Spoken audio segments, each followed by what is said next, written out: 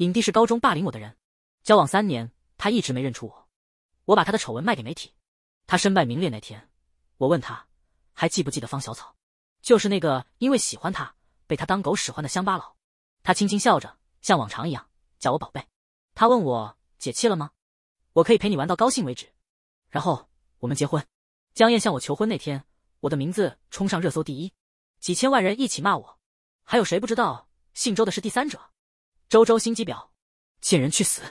心疼沈莹，影后沈莹是江燕的初恋，也是她唯一承认过的女朋友。上学那会儿，沈莹和我都喜欢江燕，她抢走我写给江燕的情书，和几个女生一起把我堵进厕所，他们围着我起哄：“你撒泡尿照照自己，配不配得上燕哥？”沈莹拿情书甩我的脸，她骂我矮矬穷、烂人烂文笔，也敢跟我抢人。后来她抄了我的情书，在广播里跟江燕表白，同学们都说他的情书写进了绵长的暗恋，谁都不知道他是个骗子，他偷走了我的喜欢。我鼓起勇气去找江燕，告诉她那封信其实是我写的。他插着兜坐在靠窗的桌子上，一脚踩着椅子，懒懒的看向窗外。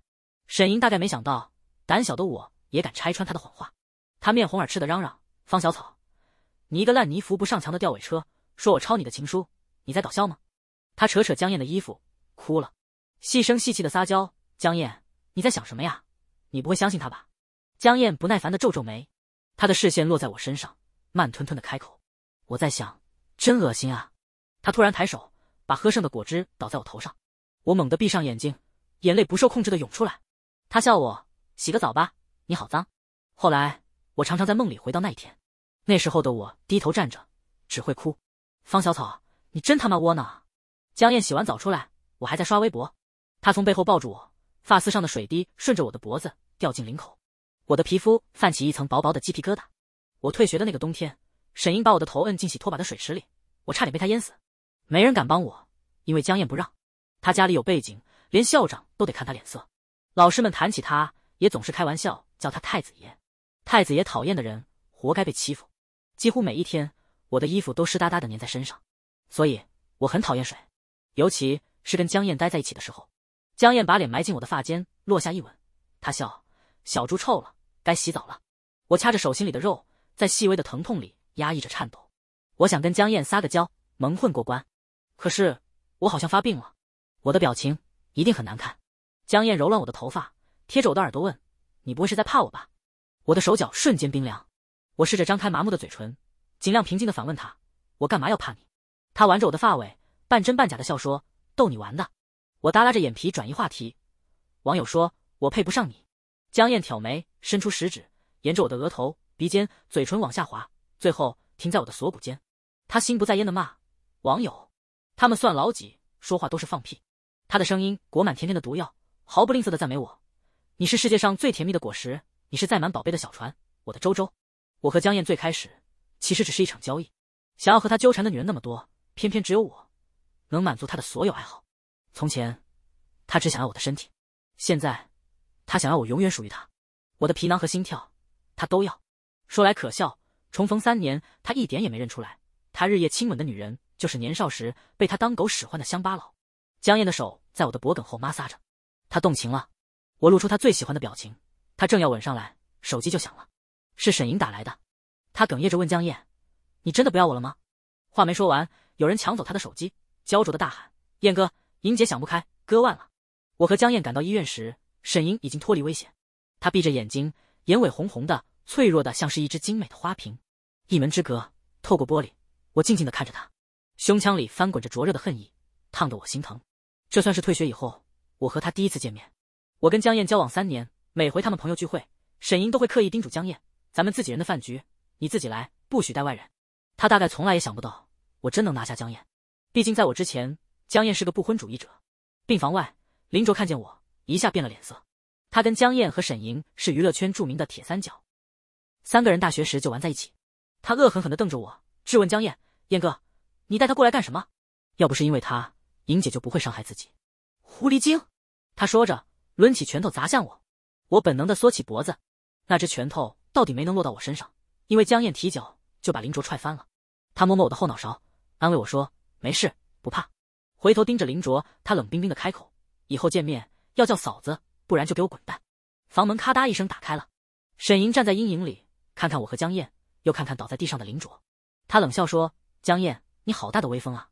十年的友谊比不上你的小情人。”他笑着笑着就哭了，捂着眼睛，肩膀也跟着颤抖。终于，在他倒下的那一刻，江燕两步上前，把他抱进怀里。江燕把沈莹放在病床上，起身的时候被他抓住衣领，他们保持着暧昧的姿势。阿燕，我好想你，吻我好不好？我知道，你结婚是在跟我赌气。江燕拨开他的手，回身搂住我的腰，近乎无情的开口：“沈莹，我要结婚了，就是天塌下来也拦不住我。以后不要再做这种事了，很掉价。”我靠在江燕怀里笑了笑，接着说：“莹姐的伤不深，她很快就会好起来，死不了的。”沈莹瞪着我，又开始哭。林卓嚷嚷着：“你他妈不会说话就闭嘴！”我扯了扯袖子，露出手腕上狰狞的疤。继续笑着说：“我没乱说话，你们看，得割成这样才死得快呢。不过还是不要死了，很疼的。我的胳膊上带着许多伤疤，我一一指给沈莹看。这几个是别人拿烟头烫的，这几个是被人用指甲抠的，很丑，对吧？我最喜欢的是这条疤，我自己拿小刀划的，像不像纹身？如果要比可怜，沈莹大约是比不过我的。当然，这并不是值得炫耀的事。可是看着他错愕的表情，我好高兴啊！他愣了两秒，指着我大骂：“神经病！”江燕，你要娶一个疯子，好恶心！你爸妈不可能同意的。江燕皱眉，把我的袖子拉了下来。他一眼盯过去，沈莹的话就全卡在嗓子里。回家的路上，江燕一直黑着脸。那一晚，他抱了我很久，炙热的体温快要将我融化。快天亮的时候，他捧着我的脸，眼底的情绪比黑夜更加幽深。他跟我说：“你不是疯子，从前你只是太难过了。以后我永远不会再让你哭。”周周，别跟沈莹计较了，原谅她吧。我分不清，他是在替沈莹说话，还是在宽慰我。第二天，我被一阵急促的来电铃声吵醒，号码很奇怪。我刚接起来，就听见对面说：“臭婊子，你怎么不去死呢？我家沈莹要是有个三长两短，我就让你下地狱。”我挂断电话，看见手机上涌入无数条咒骂我的短信，不认识的号码一个接一个打进来，我被人肉了。我用平板登上微博，看见沈莹在两个小时前发了一条消息：“也许不被爱的人才是第三者。”是不是我死了，他才会高兴？配图是受伤的手腕，网上铺天盖地都是骂我的声音，剩下的人全都在关心他。谁知道这女的住哪儿？我要杀了她！姓周的，死妈的傻星号！宝贝莹莹，求求你不要为人渣伤害自己。如果你有事，我也活不下去了，难过死了。他真幸运啊，有那么多人在爱他，真碍眼，好想毁掉他。我平静的翻开相册，找出我在江燕手机上保存的截图。那会儿，沈莹和江燕已经分手了。她发消息给江燕，说想让她假装自己的男朋友。沈莹家里没什么背景，经常被大佬占便宜。如果背靠江燕，她的星途会好走很多。江燕答应了。后来，我和江燕正式确立了关系。狗仔拍到我以后，网上铺天盖地全是骂我插足的声音。江燕发了一条声明，没有第三者。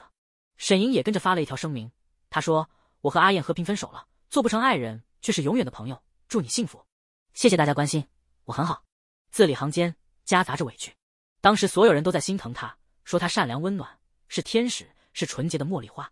而我从此背负着骂名，不管是谁提起我，都要阴阳怪气的说一句：“不是小三，胜似小三。”网友不是傻子，我一直没解释过，我一直在等今天，等舆论掀起巨大的风浪，全民关注的这一天。聊天记录发上去十分钟后，网友的评论开始改变风向。什么情况？沈莹一直在说谎，我感觉我上当了，好恶心啊！傻了吧？没想到别人有雷神之锤，所以干嘛没事找事？一天天就你沈大水后事最多。哼，这两张聊天截图一看就是 P 的，姓周的，你死不死啊？邪教粉丝，别人甩证据就是 P 的。你家黑心老巫婆给别人泼脏水就是真的。我是沈莹的同学，他以前混社会的，还霸凌过一个女生，就因为那个女生喜欢江燕，最后人家受不了退学了。天呐，真的太会演了吧！我给自己泡了杯咖啡，提提神，没准儿。今天还有一场硬仗要打呢。路过窗前，我抬头看了看，天真蓝啊，真好。我记得很久以前，沈莹拽着我的头发问我：“听说你是色盲，你说天空是什么颜色？”我好好奇啊。其实我看得清的，我只是轻微色弱。可是遇到江燕以后，我的世界就变成了黑色。她死气沉沉，摇摇欲坠。我好想知道，沈莹啊，今天你的天空会是什么颜色？回到平板前，我再次刷新消息，却发现所有的词条在眨眼间全都没有了。取而代之的是一条新的热搜：江燕、沈莹约会拥抱。我满嘴苦涩，无法平息的愤怒折磨得我快要吐了。我颤抖着往嘴里塞了一把药，冲进浴室，打开凉水，把自己浇透。我用额头磕着冰凉的墙壁，不断的告诉自己冷静，方小草，你必须冷静。浑浑噩噩的时间里，我想起来上学那会儿，其实我也反抗过。我偷来后妈的手机，偷偷录下沈莹欺负我的画面。我去找老师，想让他帮帮我。他戳着我的额头骂：“为什么别人只欺负你，你自己不招人喜欢，怪得了谁？有时间就好好学习，笨的要死，还学人家早恋。”然后他把这件事告诉了江燕。课间时，沈莹来堵我，他抢走我的手机，摔在地上，踩得稀巴烂。我把烂掉的手机带回家，后妈一边骂我，一边扇我巴掌，拿起衣架就往我身上抽。打完了，他让我去给弟弟洗衣服。我的眼泪掉进肥皂水里，喉咙里翻滚着呜咽，发出怪异的声音。我真是不招人喜欢，连哭都哭得那么难听。我也不是觉得疼，我只是突然不想活了。我没有亲人，没有朋友，就像角落里一棵被踩趴下的杂草。我孤零零的活着，我这样多余的人，不如死了算了。回过神的时候，我正捏着刮胡刀放在手腕上，我被自己吓哭了。头顶的凉水突然停了，江燕赶回来了，她红着眼睛，把湿漉漉的头发从我的脸上拨开。我笑起来，笑得比哭还难看。我问她：“热搜是你让人撤的吗？”他没说话，算是默认。我发着抖，轻声说：“你还爱他？”他？”拿起毛巾包住我，冷冷的回答：“我保护的是你。”我抬手。把花洒砸在他的额头上，吼他少放屁！鲜红的血顺着江燕的眉骨流下，盖住她长长的睫毛。他咬牙把我拽起来，我挣扎，他就把我扛在肩上，摔上床。你他妈是不是除了伤害自己就不会干别的？他很少骂我，看来是气得不轻。我回骂他：你少他妈假惺惺！你和沈莹，你们就是一对狗男女。这婚我不结了，你去娶她吧！滚蛋！话说完，我就后悔了。我还有事没做，我和江燕。还没了结，我抓起床头的书砸向他，他伸手一挡，手放下的时候，表情变得阴狠又冷漠，就好像十几岁的江燕又回来了。刚刚的话，你再说一遍。他扯掉领带，走向我。江燕咬破了我的嘴唇，我乖顺的任他摆弄。他黑着脸给我上药，垂眼说：“我撤了沈莹的代言和影视。”那个拥抱是他哭着扑过来的，我推开了。他让我不必在乎网友如何去说，因为根本没人在乎真相，他们要的只是热闹。而我追求的正义，到头来只会消耗我的精神。江燕叠着手指弹在我的脑门上，看着我疼得直眯眼，他笑了，意味深长的教导我：“周周，如果你要折磨一个人，那就拿走他最重要的东西。对于沈莹，没钱可赚，能要他半条命。那么江燕，你最重要的东西是什么呢？”江燕要做一档关于母校回忆的节目，事情是上面拜托的，不好拒绝。临江一中是江燕敬爱的母校，是我不敢想起的地方。我本能的感觉反胃。拆开一包薯片，我麻木的往嘴里塞，咀嚼能有效缓解我的焦虑。临江远在千里之外，江燕正在收拾行李。她从房间出来，手里拿着的是我的换洗衣服。我不去，我抗议着跳下沙发，把我的东西从行李箱里拿出来，扔在地上。江燕没吭声，又把它们全都放了进去。他一边装，我一边扔；他在装，我在扔。后来他终于烦了，警告似的喊我：“周周，乖一点。”我攥着衣服不看他，轻声说：“我不想去。”他抬眼问我有什么特别的理由，我咽了一口唾沫，瞪着他嚷嚷：“我就是不想去，不行吗？那没得商量，不行。”江燕干脆的拒绝我，我也来了脾气，站起来就是一脚，把行李箱踹得老远，剧烈的响声震得我一抖。江燕几乎是咬着牙对我假笑：“周周，你最近的脾气真差劲。”他说着突然压过来，一手扣着我的后脑勺，惩罚似的吻得我快要喘不过气。片刻后，他恋恋不舍的放开我，垂眼说：“陪陪我。”他身后背光，我看不清他的眼神，好像有点痛，有点苦，不过只是一瞬。江燕转过身，打开零食柜，从里面掏出两包薯片和一包果冻，放进随身携带的背包里。他晃晃薯片的袋子，撇嘴说：“这个口味不错，等回来多给你买一些。”我已经有十年没回临江了。当年退学后，我爸听说我得了抑郁症，是花钱的病，就把我从家里赶出来，不管我了。十年里，我居无定所的漂泊着，摸爬滚打，终于，我遇到了江燕。保姆车行驶在跨江大桥上，我透过深棕色的车窗往外看，夕阳的金色洒在那些熟悉又陌生的景色里，带着温柔的窒息，包裹着我。导航让车往南文路拐，司机看着两个紧挨的路口有些迟疑，我下意识回答是前面那个，然后猛地回神，转头去看江燕，幸好她在睡觉，应该没听到。司机问我这儿小路太多，真不好走。周小姐来过临江啊？我笑笑没回答，只用食指摁在嘴唇上，悄悄说：嘘，阿燕累了。拍摄任务是第二天开始，沈莹也在。她穿着极细的校裙，衣领上还别着文艺部部长的名牌，一下子就将我带回青涩的十六岁。她站在校门前，低头踢石子，明明是很美的画面，却让我毛骨悚然。从前那些石子每一颗都砸在我身上。看见江燕的时候，沈莹别过头去闹别扭，露出一种特有的娇憨灵动。江燕也没理他，两个人就像是斗气的校园情侣。几家媒体举起相机，很有默契的拍下这一刻。我坐在角落里，冷冷的看着。拍摄的前半个小时，江燕和沈莹几乎没有互动，他们刻板的念着台本，气氛一直很微妙。直到走进广播站，校长突然说：“江燕同学和沈莹同学能走到一起，多亏这个地方呢。”我翻了个白眼，不知道的还以为江燕求婚的女人是沈莹呢。有人在拍我的反应，江燕的经纪人用手比划，提醒我笑。我又翻了他一个白眼，无所谓，反正一切后果由江燕买单。有人问：“听说沈莹当时的情书写得很漂亮，江燕还记得内容吗？”江燕笑着摇摇头。沈莹插嘴说：“没事儿，她忘了，我还记得。”她的声音突然低落了一下，委屈又倔强。重要的是，我永远也不会忘。他打开广播，回头对着江燕笑：“江燕，你再听一听这封情书，送给你，祝你新婚快乐。”他的声音带着颤抖，念着情书里。我写的那首小小的诗，喜欢你是一件很苦的事。我用彩色糖纸裹住它，骗自己里面藏着世界上最甜的药，包治百病。沈莹把爱而不得的氛围渲染到极致。江燕沉默的看着他，快门声此起彼伏，所有人都在记录这唯美的一幕。江燕，曾经你是我包治百病的药，后来你变成无药可解的毒。沈莹得意的笑着，她望着我，讥讽的撇撇嘴。他是个小偷啊，他怎么敢这么嚣张？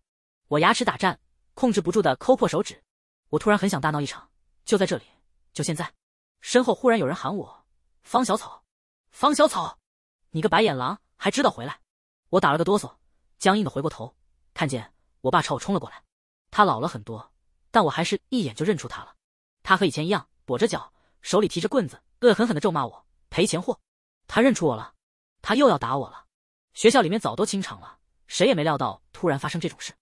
我爸已经冲到我面前，江燕比所有人的反应都要快，他把我拽进怀里，躲远了。沈莹也跟了上来，他挡在江燕前面。我爸手里的棍子落下来，砸在他的背上，打错了人。我爸愣在原地，等他看清我的脸，狠狠眨眨眼，结结巴巴的解释：“我认错人了，对不起，我以为是那个没良心的狗东西回来了。他一走就是十年，没人给我养老，我这么大岁数，只能在这儿给人家扫厕所。校长，校长，求求你别开除我，我也很可怜啊。”江燕让助理叫律师过来。他的语气里没有留下一丁点商量的余地，告故意伤人。我爸猛了两秒，喊起来：“我不要，我不要坐牢，我不是故意的。”他冲着天大叫：“你妈的方小草，你是不是死在外边了？你死了，你都要克你老子！”江燕一脚给他踹远了，指着他大骂：“你他妈嘴里再不干不净，老子弄死你！”平时温文尔雅的人突然发起这么大的火，所有人都被他吓了一跳。其实有什么好惊讶的呢？江燕本来就是这样的呀。沈莹捂着肩膀。回头来拉江燕，红着眼圈说：“阿燕，你别为我这么生气。”江燕躲开他的手，冷漠的回答：“我不是为你。”沈莹笑了，轻轻说：“你总是口是心非，还记得吗？高中的时候，方小草总是惹我生气，你表面上不关心，但总是默默为我撑腰。那个方小草果然不是个好东西，连自己爸爸都忍心不管。还好有你，阿燕，你一直都在好好保护我。”他意味深长的看我一眼，继续说：“江燕，我知道。”我们永远都会是对方生命里最重要的人。我的脑袋里空空的，沈莹的话我好像全听到了，又好像一句都没听进去，真不要脸啊！其实有时候我总觉得自己已经死了，纵然我的身体是温热的，纵然我的心脏还在跳动，医生要我跟过去和解，跟自己和解。我说我不要和解，他们把快乐建立在我的痛苦上，那我就让他们更痛苦，只有这样我才会快乐。我整个人乱糟糟的，等回过神的时候，我的巴掌已经甩在了沈莹的脸上。我早就想这样做了，我扯扯嘴角，笑了。沈莹捂着脸，不可思议的看着我。碍于人前，她极力克制着愤怒。有人拍下这一幕，被江燕的助理买断了照片。我坐在落地窗前，直愣愣的看着外面，连眨眼都忘了。现在是凌晨两点，江燕抱起我往床边走，哄孩子一样跟我说：“该睡觉了。”我在她怀里折腾，你烦不烦？你能不能不管我？我真的很讨厌她这副伪善的嘴脸。她把我扔在床上，拿来热毛巾给我擦脸。自从我妈死了，就没人这样惯着我了。妈妈活着的时候，她的爱总是沉甸甸的，附着在我生命的每个角落。一条热毛巾，一颗洗好的苹果，一只打着补丁的袜子，还有那些再也不会出现的喋喋不休的唠叨。湿润的毛巾温柔的擦在我的脸上。这件充满爱意的事，不该是江燕给我做的，她不配。我扯过她手里的毛巾，狠狠甩向她，还不觉得解气。我张口咬在他的肩膀上，江燕一直忍着，直到他的肩膀破了皮肉。他强硬的推开我的头，咬牙切齿的瞪着我。我用舌尖轻轻舔着牙齿，对着他笑：“你不会怪我吧？我有病啊，江燕，谁让你非要带我来？今天我被吓到了。”他握拳打在镜面上，玻璃碎了一地。他终于露出一点本来的面目，骂我：“你确实他妈有病！我他妈真是欠了你的！”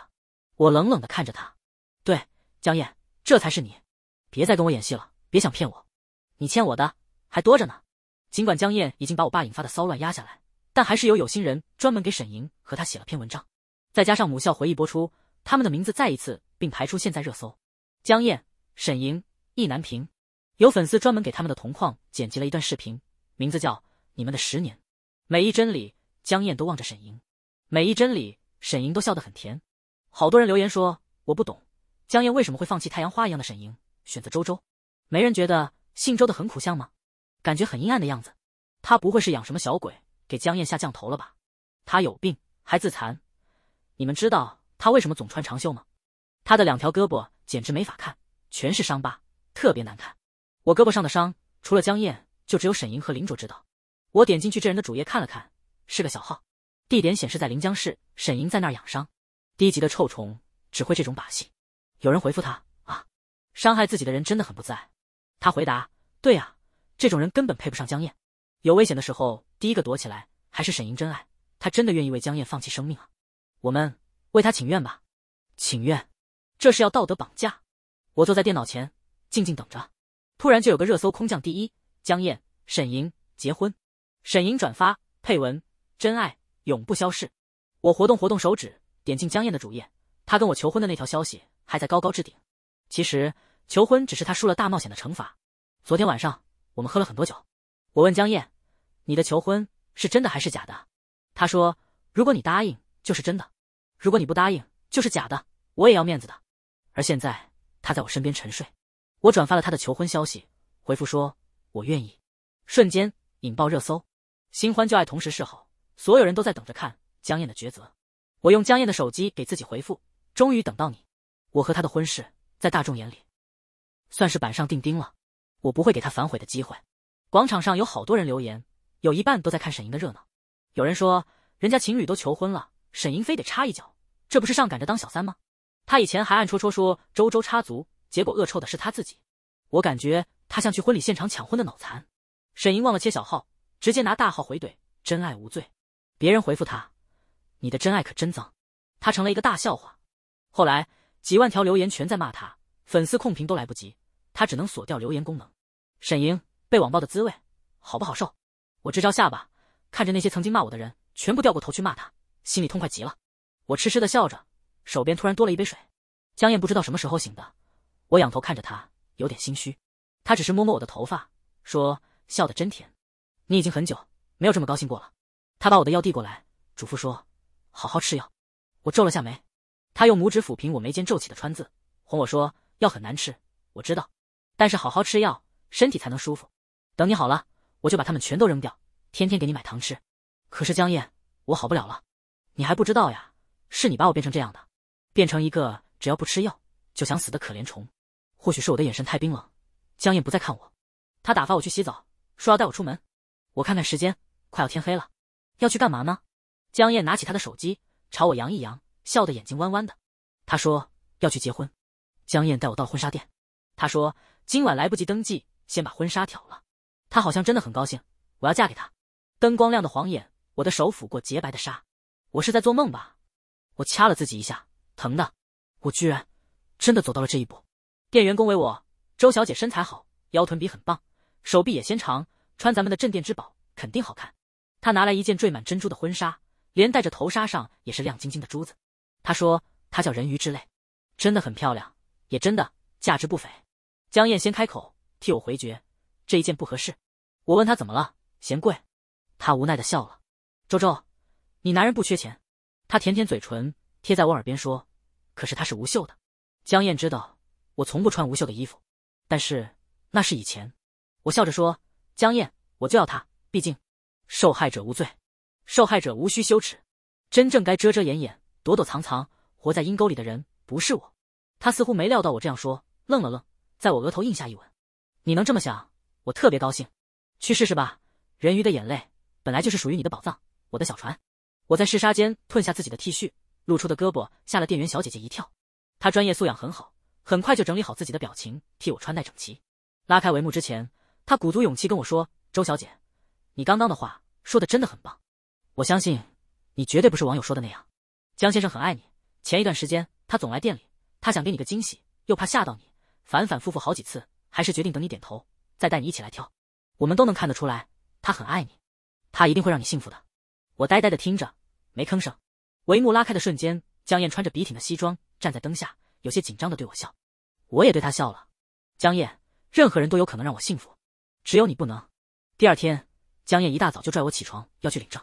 他穿的很正式，结果看见我随手套了件衬衫就要出门，他就把我拉回来，边哼歌边挑了件长裙给我换上，又拿卷发棒给我卷了个头发。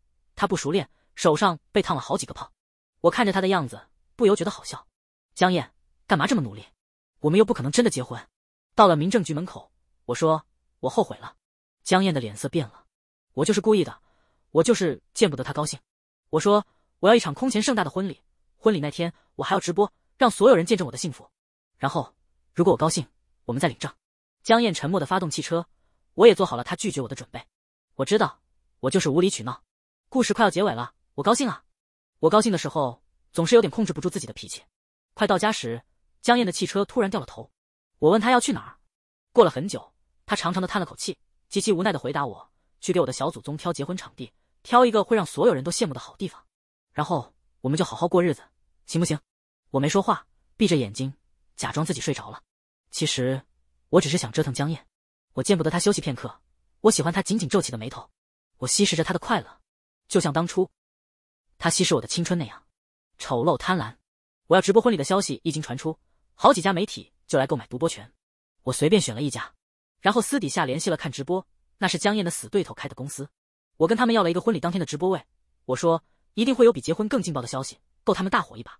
离开的时候正好碰见沈莹也在，她跟几个男人一起露出谄媚的笑，高高兴兴的往外走，好像是要去喝酒。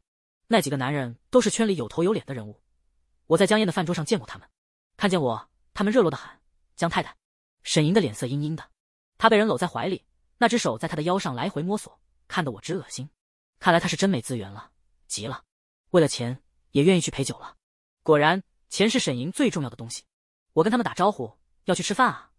你们可要对沈小姐好点，毕竟她是江燕的老朋友了，多关照她一点。几个男人会心会意地点点头，让我放心。沈莹脸色一白，我冲她笑笑，转身离开了。没走几步，他却突然追上来，一把拽住我的胳膊。他阴恻恻的在我耳边说：“方小草。”你以为你嫁给江燕，我就会输吗？我问你爸了，他说他认错人是因为你脖子后面的那颗红痣。我找人一查，还真查到点东西。你以为你换张脸就能瞒过所有人？等我拿到证据，告诉江燕，你就等死吧。我冷冷的看着他，突然笑出声。我伸出手指戳着他的额头，就像他从前侮辱我那样。我痛快的承认：“沈莹，你还记得方小草啊？那就好。我就怕我还在痛苦里挣扎，可是凶手却把我忘了。”但是你现在才认出我，实在有点晚了。你真没良心，真让我生气啊！幸好我已经想到出气的办法。我有预感，很快你就会变成一个穷光蛋。结婚前一晚，江燕带我去看星星，我们沉默着，四周很安静，只有呼吸声交缠在一起。有一颗星星在我头顶，抬眼就能看到，一闪一闪的，很漂亮。江燕突然跟我说：“我把它买下来，用我们的名字命名，怎么样？我们去银河里，永远在一起。”我轻嗤一声，说：“无聊。”他怪我不懂浪漫，我打了个哈欠，抱着膝盖困得直闭眼，嘴里嘟囔：“我想睡觉了，我的浪漫细胞都被瞌睡虫赶跑了。”他笑笑，拍拍腿，让我躺下。我盖着毯子，半梦半醒间，感觉江燕一直在抚摸我的头发。他问我：“明晚我们还会在一起看星星吗？”我扭了扭头，把脸埋进毯子里，不让他动了。第二天结婚，大概是因为缺觉，江燕一直很躁动。她手划了一早上，连着打碎三个杯子，划破了手指，血滴在衣服上。一群人手忙脚乱帮他收拾，要带他去整理。他站在我身后看着我，一动不动。我回手拍他，忍不住笑起来：“干嘛呀？今天黏黏糊糊的，赶紧去收拾啊！典礼都快开始了。”他捉住我的手，蹲下身，从怀里掏出准备好的钻戒，套在我的手指上。那颗戒指那么漂亮，那么闪烁，我很喜欢。但我知道，它不属于我。我维持着笑脸，摘下戒指，把它放进江燕的手心里。我问他：“你干吗？”他接过戒指，笑得很勉强：“不干嘛，就是试试。”那待会儿，我们直接在典礼上见。我看看时间，也差不多了，点点头，说好。江燕不依不饶的跟我确认，不骗我。我都怀疑他是不是知道了什么事情。我说：“我绝不骗你。”可是怎么可能呢？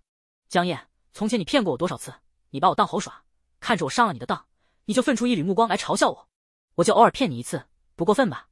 江燕说：“你乖乖的，别骗我，我就答应你一个愿望，什么都可以。”我没接话。快要走出房间的时候，他半个身子隐在门外，又回头跟我说：“其实，你骗我也没事。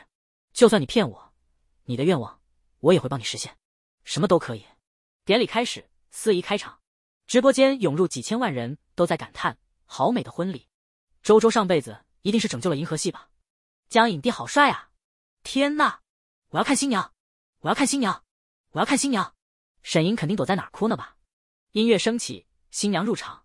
大厅的大门缓缓打开，本该手捧着花站在那里的人没有来。我举着手机，透过屏幕看见江燕好像红了眼眶。快门声此起彼伏，所有人都不想错过这戏剧性的一幕。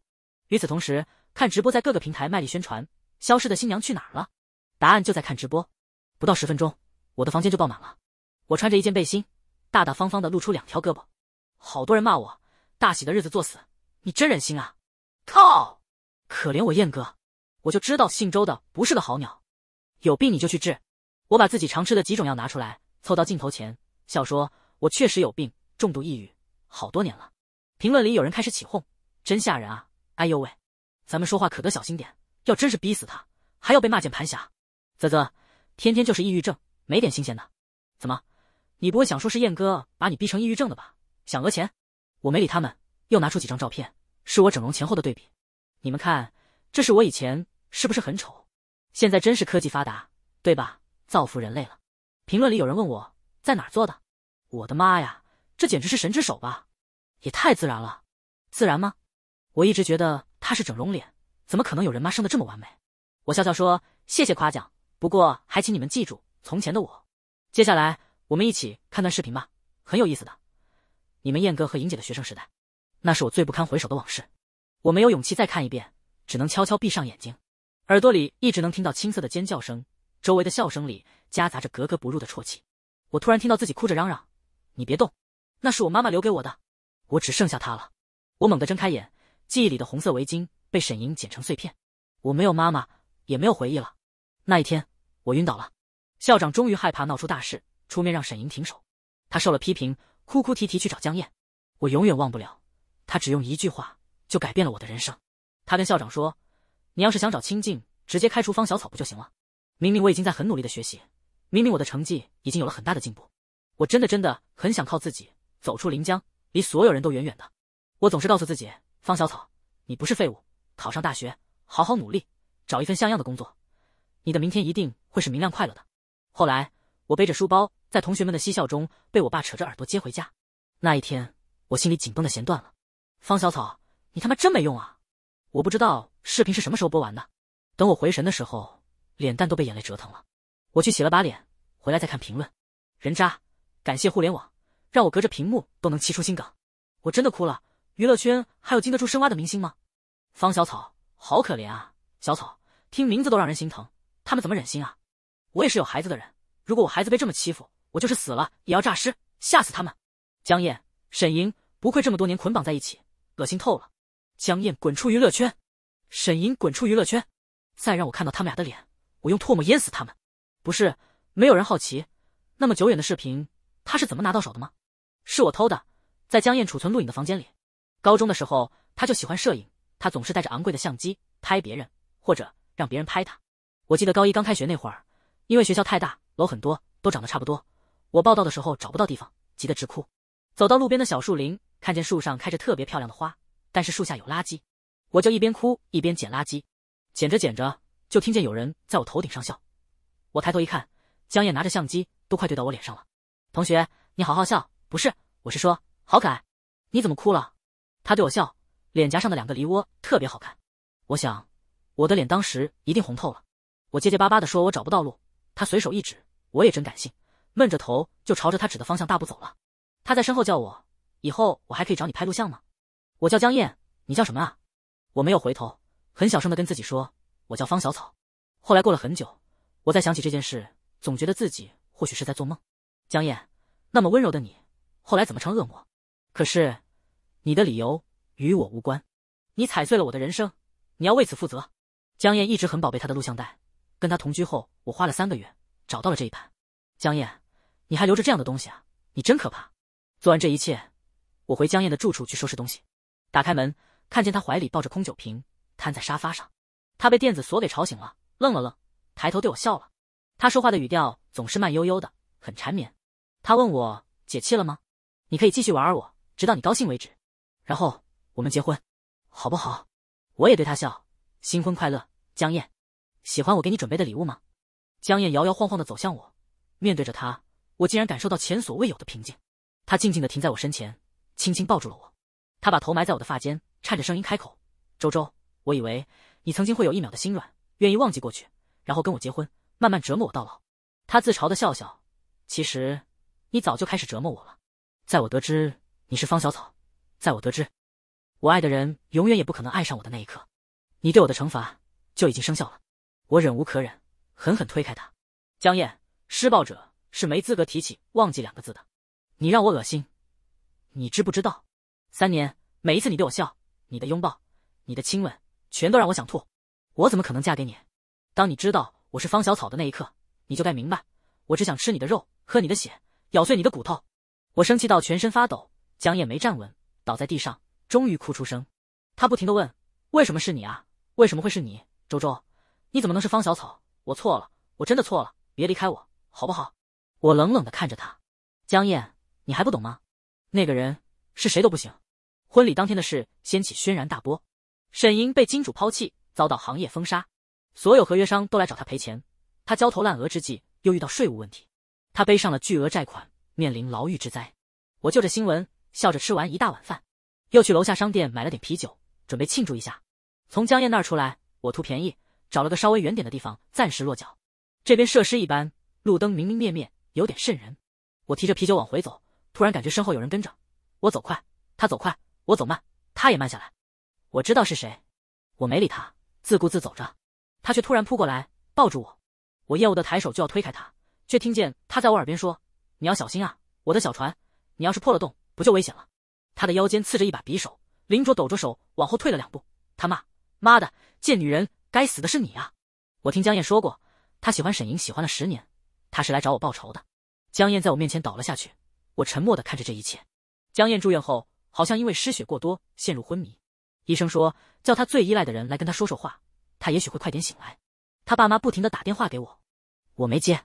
一个月后，我做好准备要离开这里。出发的那天，我很早就去了江燕的病房，一直一直陪着她。阳光照在我的身上，暖融融的。我倒在沙发上。看着江燕的脸，把我跟他之间所有的事都回忆了一遍。人真是复杂呀，我一会儿哭一会儿笑，像个疯子。临走前，我附在他的耳边轻轻说：“江燕，你记得吗？你还欠我一个愿望，我要许愿，希望你永远都不要醒过来。”